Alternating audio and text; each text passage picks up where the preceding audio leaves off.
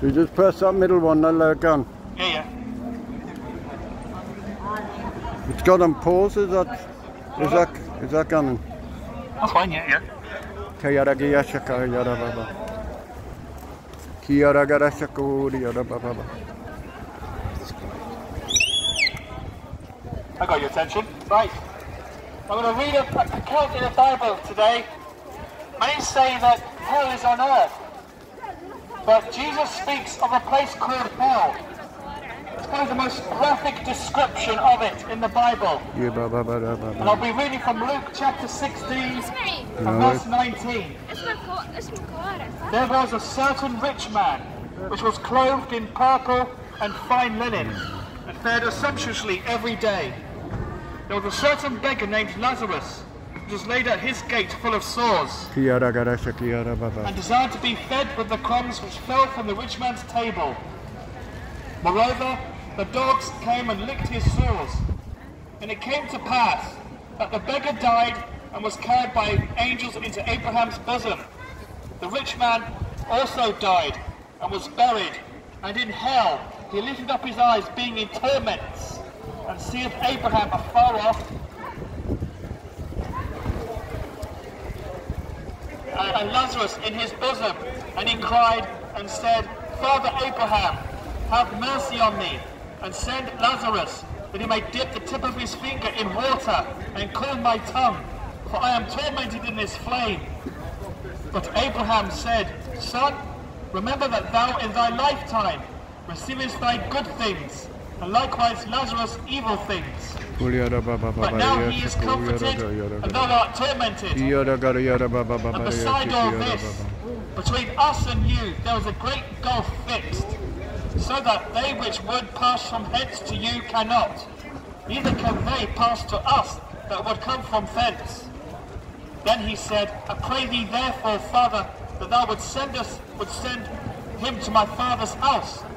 For I have five brethren, that you may testify unto them, lest they also come into this place of torment. Abraham said unto him, They have Moses and the prophets, let them hear them. And he said, Nay, Father Abraham, if one went up from the dead, they will repent. And he said unto him, If they will not hear Moses and the prophets, neither will they be Can you hear me? persuaded, though one rose from the dead. God bless you. And that is eternity. That is a most graphic description of what happens when someone dies. Kiyara gara shaka They either yara. go to heaven or hell.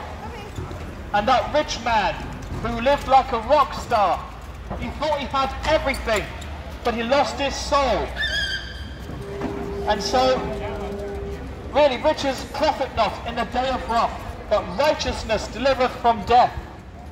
You see, you, you're not you're not just here to live and live in pleasure and possessions and money. You have a soul which belongs to God.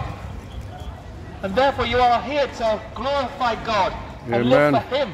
But the thing is, you and I are sinners. We break Yeah, God's law all the time.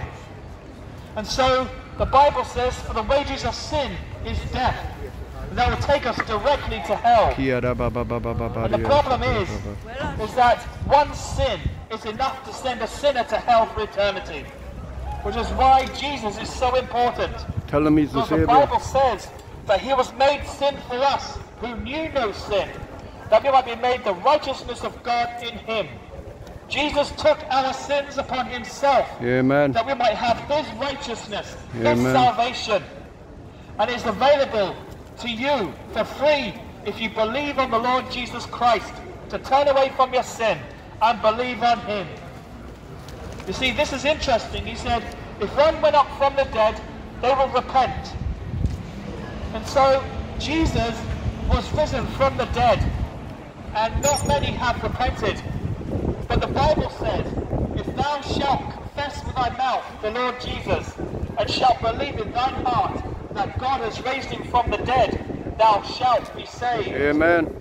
Do you believe that Jesus died for you personally on the cross for your sins? Do you believe that he rose again from the dead? And now he's glorified as King of Kings and Lord of Lords? Amen. Uh, we preach peace by Jesus Christ. Amen. For he is Lord of all. Yes, Lord. And so I ur- urge you today, Gateshead, whatever you're doing, think about your soul. You have only a short time left. You don't know when your life's going to get cut short. But the thing is, you must think, ask yourself, am I right with God today? Do I have Jesus as my personal Saviour? Without Jesus Christ, there is no forgiveness of sins. Here's the door. Here's the door. He is the door, and by him all that believe will be saved. And you too can be saved today and have that assurance that your sins are forgiven and that your place in heaven is secure if you come to Christ and believe. This, la- this man in hell was unrepentant. He had no thought of God at all.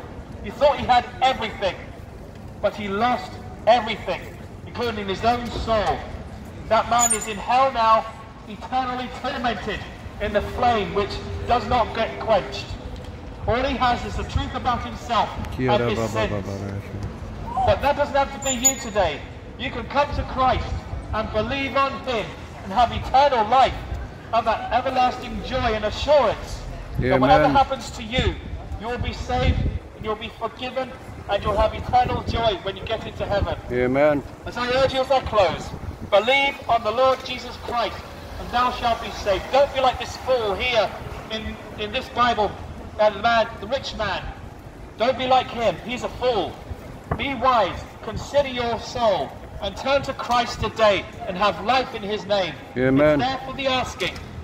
Jesus said, If anyone comes to me, I will no wise cast out.